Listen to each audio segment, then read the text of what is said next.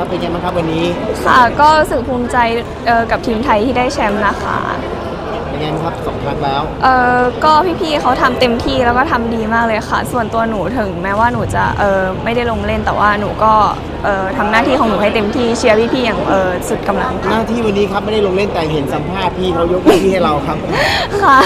หน้าที่อะไรเราทำอะไรนอกจากเชียร์แล้วทำอะไรครับเออเชียร์อย่างเดียว อ้าววันนี้เห็นสัมภาษณ์ครับทำไมพี่กิฟต์พี่วิวให้สัมภาษณ์เพราะอะไร รับน้องรับน้องรับน้องเป็นไงบ้างหน้าที่รับสัมภาษณ์เป็นไงบ้างครับค่ะก็ตื่นเต้นค่ะ เดี๋ยวจ้าอ่าพี่วิวครับ เสร็จภารกิจครับซีเกมแล้วครับไปไหนต่อเนี่ย ค่ะวันนี้นะคะ เดี๋ยวสัมภาษณ์เสร็จเราต้องรีบแพ็คกระเป๋าเลยค่ะครับกลับกลับบ้านบินไทยวันนี้ค่ะ แล้วก็เพราะว่าพรุ่งนี้เช้าเราต้องบินต่อไปประเทศจีนในการแข่งขันสุธีรามานค่ะ เป็นไงบ้างมาช่วยน้อง